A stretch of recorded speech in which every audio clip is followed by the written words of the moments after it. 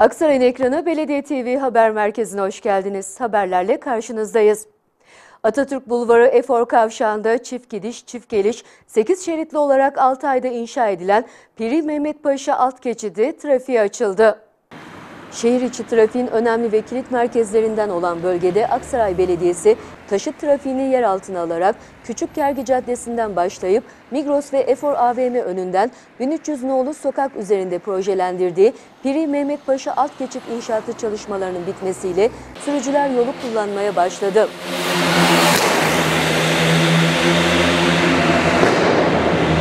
...514 metre uzunluğundaki alt geçitte 550 adet fore kazık çakıldı. Alt geçidin hizmete girmesi ve trafiğin yer altına alınmasıyla bölge trafiği rahatlarken alt geçidin duvarlarına yapılmakta olan Aksaray Belediyesi logo temalı çalışmalar, aydınlatma, kaldırım ve çevre düzenlemesi trafik akışını etkilemeyecek şekilde devam ediyor. Aksaray Belediyesi Başkanlık makamında her salı günü düzenlenen vatandaşların istek ve dertlerini dile getirebilmeleri amacıyla düzenlenen Halk Günü buluşmaları devam ediyor. Belediye Başkanı Haluk Şahin Yazgın'ın makamında gerçekleştirilen Halk Günü'nde vatandaşların taleplerini birebir dinleyen Başkan Yazgı, vatandaşlardan sorunlarını çekinmeden anlatmasını istiyor. Aksaray Belediyesi'nin yerel yönetimde katılımcılığı sağlamak ve ortak çözümde buluşmak anlayışıyla hayata geçirdiği Halk Günü toplantılarında vatandaşlar her konuda taleplerini Başkan Yazgı'ya iletiyor. Başkan yardımcıları ve tüm birim müdürlerinin hazır bulunduğu toplantıda talepler ilgili müdürlüklere iletiliyor. Görüşmedeki taleplerin takip ve işin sonuçlandırılması için hazırlanan formda başkan notunu alarak ilgili birime iletiyor. Bazı talepler anında yerine getirilirken zaman gereken konularda ise hazırlanan form desteğiyle iş takibi gerçekleştiriliyor. Vatandaşla ilgili bilgilerin hazır bulunduğu formla ilgili müdürlük tarafından takibi yapılıyor. Ayrıca dosyalanan formlardaki bilgilerle halkla ilişkiler birimince kişiyle iletişime geçilerek işleyiş hakkında bilgiler alınma yoluna gidiliyor. Bununla hem iş takibi hem de kurumun halkla ilişkileri gerçekleştirilmiş oluyor. Kadınlar Aksaray Belediyesi'nin el becerisi ve meslek edindirme kurslarıyla evlerini atölyeye çevirirken Akmey'in yeni dönem kurs kayıtları başladı. Aksaray Belediyesi'nin Güçlü Kadın Güçlü Toplum inanışıyla yola çıktığı, üreten her kadının evini bir atölyeye çevirdiği ve 2010 yılından bu yana özellikle Belediye Başkanı Haluk Şahin Yazgı dönemiyle her geçen gün büyüyen binlerce kadına el becerisi kazandırmak amacıyla devam ettirdiği Aksaray Meslek Edindirme Kursları 2018 ikinci dönem kayıtları başladı. Akmek Birim Sorumlusu Canan Köse, kadınlara yönelik en kapsamlı yerel yönetim okulu olan Aksaray Belediyesi Meslek Edindirme Kurslarının heyecanla beklenen yeni dönem kayıtlarının başladığını belirterek yine bir ilk ile Aksaray Belediyesi'nin ilk kez bir mahallede kurs açtığını söyledi. Şu anda e, kurslarımızın tüm ikinci dönem kurs kayıtlarımız başlamış bulunmaktadır. Birinci dönem kurs kayıtlarımızı e, 19 Ocak 2018 tarihi itibariyle bitirdik. Bitirdiğimiz kurslarımızdan mezun olan, e, kaydını yaptırıp 2000'i 2000'i geçkin öğrenci grubumuz kayıt yaptırıp bine yakın öğrenci gruplarımız katılım sertifikası almaya hak kazanmıştır. İkinci dönem kurs kayıtlarımız şu anda bugün 22 Ocak e, 2018 tarihinde başladı. 7, Ocak, 7 Şubat 2018'de bitecek kayıtlarımız. Tüm birimlerde, 4 birimde olan AKMEK birimleri bu sene ilk defa açılacak olan Hamdiye Mahallesi'nde olmakla beraber 5. bir olarak e, faaliyete geçecektir inşallah. Hamidiye Mahallesi'nde yeni açılacak olan Vecihe Hatun Kadın Aktivite Merkezi dahil olmak üzere 5 birim ve 40'a yakın branşta kayıtların devam ettiğini kaydeden KÖSE, yeni kayıt dönemiyle ilgili bilgiler verdi.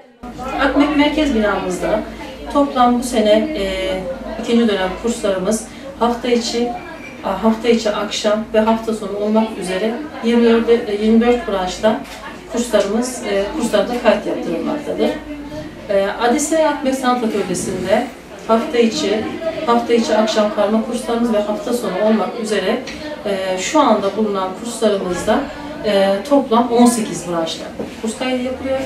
E, birinci dönemde ilk defa açılan Selime Sultan Kadın Aktivite Merkezi'nde bu dönemde ikinci dönem olarak da faaliyete geçecek olan kurslarımızda toplam hafta içi akşam, hafta içi akşam ve e, hafta içi gündüz, hafta içi akşam ve hafta sonu olmak üzere orada da e, 14 e, 14 kurslarımız 14 adet kurslarımıza kayıt yapılacaktır.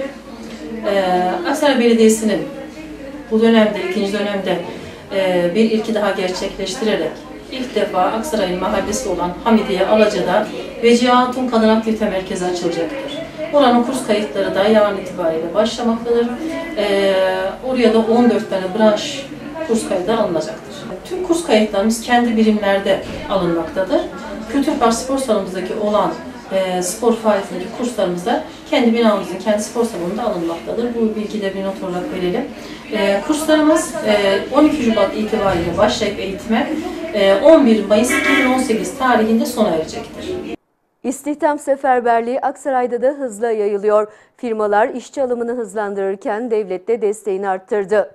Aksaray Çalışma ve İş Kurumu İl Müdürlüğü'nden edinilen bilgilere göre Aksaray'da 2017'de vergiden prime çok sayıda teşvikten yararlanmak için yeni eleman alımını hızlandıran 2522 firma 3291 kişiyi iş sahibi yaptı. Aksaray'da teşvik kapsamında işveren olarak iş gücü arz talebinde ise en çok tekstil firmalarının talepte bulunduğu bildirildi. Bir senden bir benden teşviki talep listesinin başında geldi. Buna göre 3 ve daha az çalışanı olan imalat sektöründe faaliyet gösteren iş yerlerinin ek olarak ilave istihdam ettikleri 18-25 yaş grubundaki gençlerin maaş, sosyal güvenlik primleri ve vergileri bir ay işveren tarafından bir ay ise devlet tarafından ödeniyor. Asgari ücret üzerinden olacak bu destek kapsamında yılın başından itibaren istihdama katılan bir çalışanın 6 aylık ücretini devlet ödeyecek. Çalışma Bakanlığı verilerine göre ilk kez bütün maaş, sigorta primi ve vergileri İşkur'un karşılayacağı bu teşvik için Türkiye genelinde 100 bin firma başvuru yaptı. 2018'de 110 bin yeni memur alımı gerçekleştirilecek. Alımların kurumlara göre dağılımı ise şöyle. Sağlık Bakanlığı'na 36 bin personel, Milli Eğitim Bakanlığı'na 20 bin öğretmen, Adalet Bakanlığı'na 15 bin personel, Diyanet İşleri Başkanlığı'na 9500 müezzin, imam ve Kur'an öğreticisi, Gençlik ve Spor Bakanlığı Kredi Yurtlar Kurumu'na 10.900 personel, Aile ve Sosyal Politikalar Bakanlığı'na 2000 personel, üniversitelere 4000, üniversite hastanelerine ise 7000 personel alımı yapılacak. Türkiye Bedensel Engelliler Federasyonu tarafından Aksaray'da düzenlenen Bedensel Engelliler Yüzme Şampiyonası sona erdi. Aksaray Olimpik Yüzme Havuzu'nda gerçekleştirilen şampiyonada 32 takımdan 146 sporcu mücadele etti. Şampiyonanın sonunda dereceye giren sporculara federasyon yetkilileri tarafından ödülleri verildi. Aksaray'ın ekranı Belediye TV'de haberleri izlediniz. Bir sonraki haber bültenimizde tekrar görüşmek ve buluşmak dileğiyle. Hoşçakalın.